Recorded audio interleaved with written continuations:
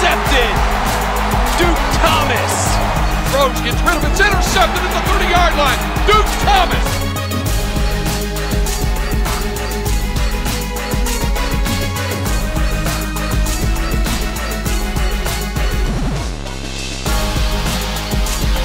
Looking to step up and throws an interception. Picked off by Duke Thomas.